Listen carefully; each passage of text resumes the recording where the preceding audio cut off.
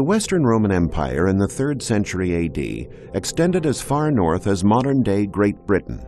However, the richest and most politically important lands lay to the west and south, from Provence to Portugal, comprising such present-day cities as Orange, Arles, Nîmes, Tarragona, and Mérida. The Spanish and French provinces were connected to Rome via excellent roads, mountain passes through the Alps, and infrastructure for economic development, such as aqueducts. From Provence in southern France, and also from Spain, agricultural products like olive oil and preserved foods such as garum, a fish sauce widely used as a condiment, arrived in Rome. These countries, in turn, obtained gold and money from the Romans. Spain and France were also very active in metal mining. In the first century BC, the philosopher Posidonius d'Apamea wrote, When a forest burns in Spain, you see gold and silver bubbling from the ground. After using force to conquer territories, the Romans built cities modeled after Rome and their allure was in large part due to impressive Roman feats of architecture and engineering. Peoples such as the Gauls and the Iberians, at first intimidated and in awe of the Romans' ingenious war machines, slowly became fascinated with what the Romans were capable of building. For decades, archaeologists studied Roman engineering to find out the secrets, unknown to most other nations at that time, by which the Romans were able to erect grandiose works with such stability, precision, practicality, and visual splendor, such as this incredible aqueduct. This is the Pont du Gard, one of the boldest structures of all Roman antiquity, built in the first century AD. The span over the river Gard, near Nîmes in Provence, is a full 157 feet high over 900 feet long, and no mortar binds its stone arches. But what is even more amazing is the mystery of how ancient engineers could build an aqueduct that brought water to Nîmes from over 30 miles away with a drop of only 56 feet from its source. The secret lies in this leveling instrument called chorobate, it is a bench 20 feet long with plumb lines hung from it. When the plumb line is aligned with the guide mark, the top of the bench, corresponding to the water channel, is perfectly level. This means that the work has not been performed correctly. Hence, water will not flow, and the slope has to be increased. Conversely, if the plumb line is too far off the guide mark, it means there is too much slope and adjustments are again necessary. To ensure that the aqueduct maintained its downhill slope all the way to its destination, the chorobate was used to maintain the minimum slope as the work progressed. When the bench leans forward and the plumb line is just a few degrees off the guide mark, the surface has the right slope to allow the water to flow. More than 5 million gallons of water flowed over the Pont du Gard every day to fill a reservoir in Nîmes known as the Castellum Divisorium, supplying the needs of both the Gallic and the Roman inhabitants. But why did they need so much water? To find out, let's examine traces of the past still surviving in the modern city of Nîmes. Historical records and relics, such as this coin found in Nîmes, tell us that the city was given as a gift in 31 BC to the veterans of Augustus' army as a reward for their victorious participation in the Egyptian campaign. This ancient inscription reveals that the walls of Nîmes, known as Nemausus in Roman times, were erected in 15 BC and extended from the gate for four miles to encircle the city. With a thickness of over seven feet, the city walls enclosed an area of 540 acres setting the stage for the birth of one of the largest provincial capitals in all of Roman Gaul. Archaeologists believe that only after the walls were erected did the city decide it needed water in order to survive and grow, and hence, about 40 years later, they built the aqueduct. The walls were punctuated with towers. 43 are known, but there must have been more than 80. One of these, the Tour Magna, built in Augustus' time, is 110 feet high and provides evidence that in that area there was an Augusteum, a sanctuary where the Emperor Augustus was worshipped as a divinity.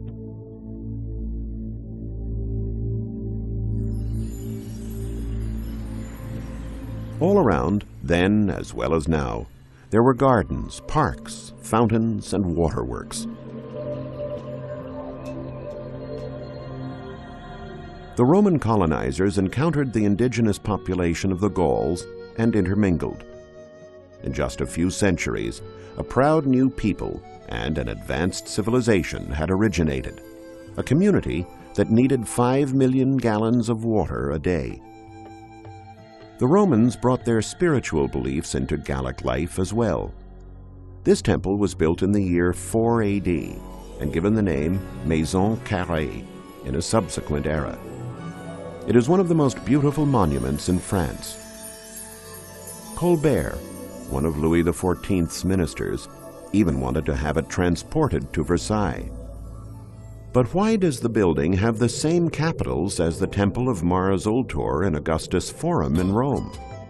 To achieve the maximum architectural splendor for their city, the Gallo-Romans of Nîmes used a strategy which was not completely original, but certainly effective copy the best of what had already been built. This magnificent amphitheater, Les Arènes, now used for bullfights, is one of many examples. The structure comprises two orders of archways punctuated by Doric capitals on both levels. Les Arènes seats 24,000 spectators in an oval 330 feet across and 430 feet long.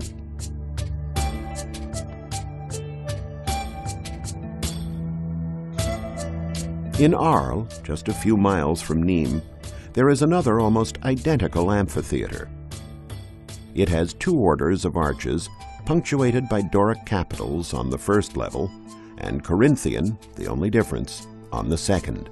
The lengths of the axes are virtually identical, as is the seating capacity, 26,000 spectators.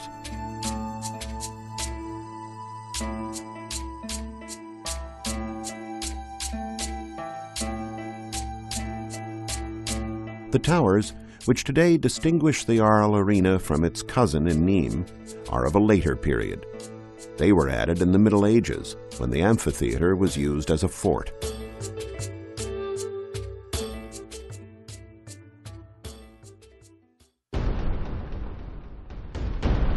For a gladiator in ancient times, entering the amphitheater and performing in front of 20,000 spectators, it must have been a tremendous rush a chance to become both hero and champion.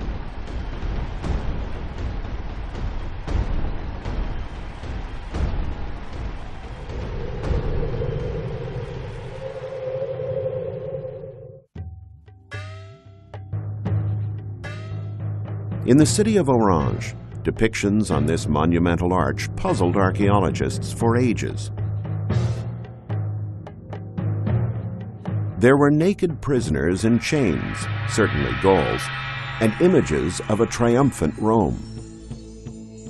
But why would the Romans have chosen to show the Gauls in such a suppressive state if they were trying to win them over to their way of life and make them one with their civilization?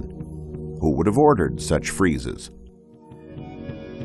The first thing archaeologists did to resolve the mystery was to try to determine the historic occasion for the construction of this triumphal arch.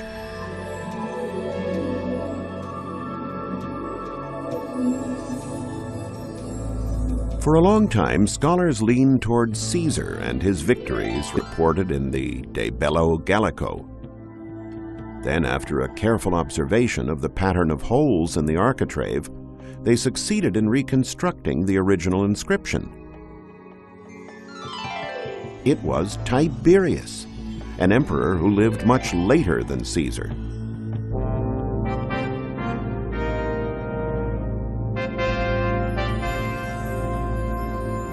Tiberius, though knowing all too well that the Romans and the Gauls were becoming a single people, wanted to send a warning to the indigenous population, reminding them of Rome's power and greatness.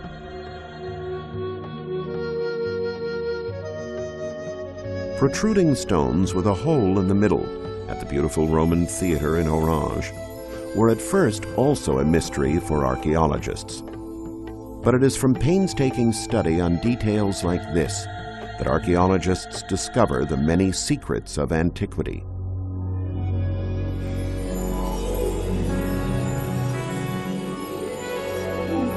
In this case, the research shed light on the comforts of Roman theaters. The perforated slabs are called modillions, and they supported wooden posts holding up a velarium. Just think, the best Roman theaters were equipped with a tent, roofing that protected the spectators from the sun and rain. In cities that did not have an amphitheater, the theaters were sometimes used for gladiatorial combat, adding real-life drama to what was normally just intellectual entertainment. Fresh from victories over the Gauls in Provence, the Romans pushed westward across the Pyrenees into Spain, all the way to Cadiz at the tip, securing what would become one of the most important areas of the empire. Modern-day Spain was known to the Romans as Hispania after they defeated Carthage in 197 BC. It became an extremely rich land by the 3rd century AD, perhaps even richer than Rome. Tarragona was the capital of Rome's most important Spanish province, Tarraconensis. A charming Catalan city has been built upon the ruins of its magnificent Roman ancestor. Fortunately, many Roman elements have been preserved, such as the striking amphitheater at the seashore, the aqueduct, and other important archaeological finds. The work of archaeologists continues still. Most of their finds are unearthed, digging in people's cellars, or underneath or inside the houses and buildings of the modern city. Some of the buildings of the old city have strange vaulted ceilings, ancient supporting arches over 23 feet tall, separated by pilaster strips that lead into other vaults, all exactly the same. Studies have revealed that the vaults, all from Roman times, supported the stands of the ancient Circus of Tarragona, a magnificent hippodrome where chariot races took place. The main road into the city led to the circus, which was on the lowest of three terraces that comprised the city's immense forum, over 180 acres.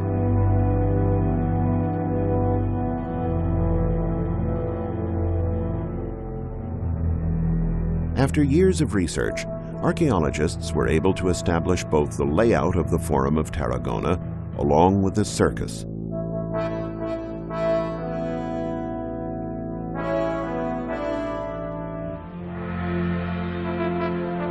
Half of the circus, as we see from this section, was dug into the Tarragona hillside. The other half was suspended on vaults.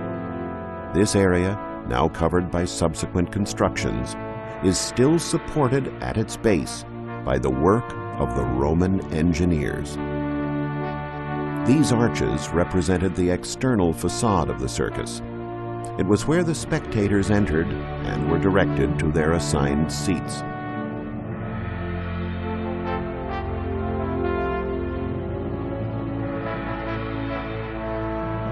You might hear the sounds of the races already in progress as you entered.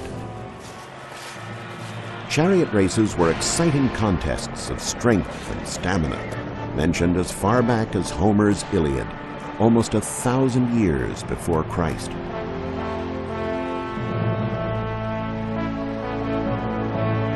The Forum stood above the circus and included the city's most important temple, the Capitoline Triad. At one end of the oval, there was no public seating. This was where the starting gates were, where the chariots came bursting out after the starting signal, ready to fight to see who would be the first to finish seven laps. Crowds loved the events. The races were even more popular than gladiator battles, and a circus normally seated twice as many spectators as an amphitheater. To properly set up the two U-turns, each circus had these three strange cones called metae placed near the curves. This was where the most spectacular accidents took place, which the Romans called shipwrecks. The chariot literally overturned, ejecting its driver, or auriga. The desire of spectators to see mishaps has not changed much in 2,000 years.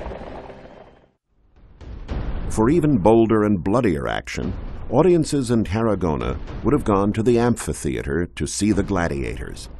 Archaeologists discovered that there were walls in the amphitheater that did not belong to the original structure, but were built later. Historical records spoke of a martyrdom that occurred in the arena, where a bishop and two deacons were burned at the stake. Excavations revealed that a Christian basilica had been built on the site of the burnings in the 6th century AD. The Christians were persecuted because they refused to worship the emperors as gods.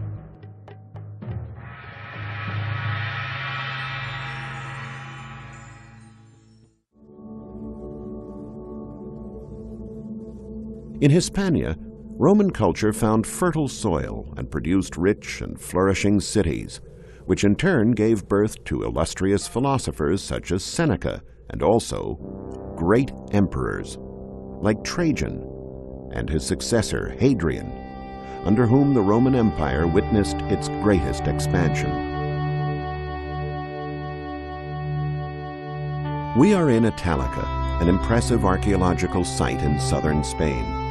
Thanks to its two great emperors, the city grew in splendor around the 2nd century AD. The size of this majestic amphitheater alone suggests that it once served a much larger city than what now remains.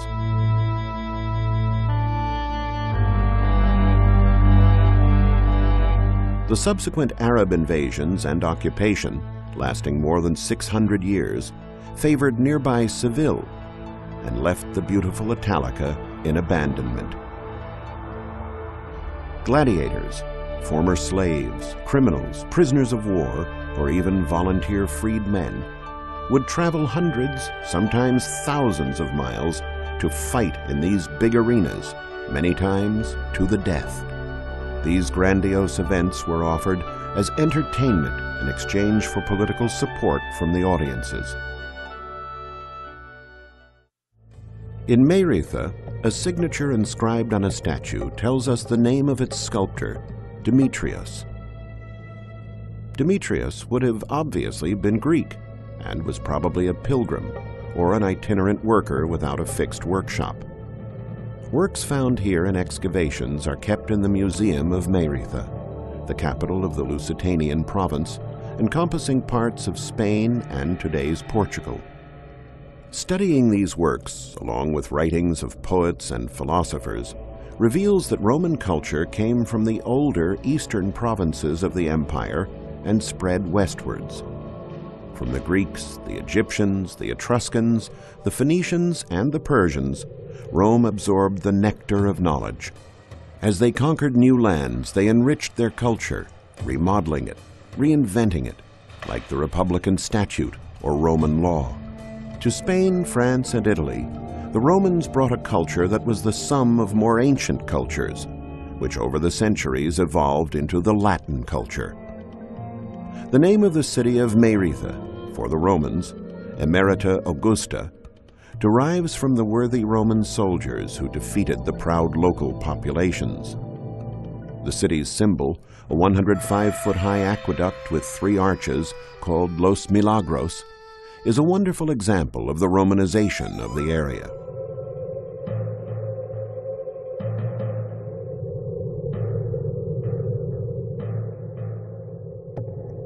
The city also has three impressive arenas a theater, an amphitheater, and a circus or hippodrome for the chariot races. Sometimes three day events were organized in Mérida, elimination tournaments with no holds barred. The first contests would have taken place in this amphitheater built by Augustus in the year 8 BC.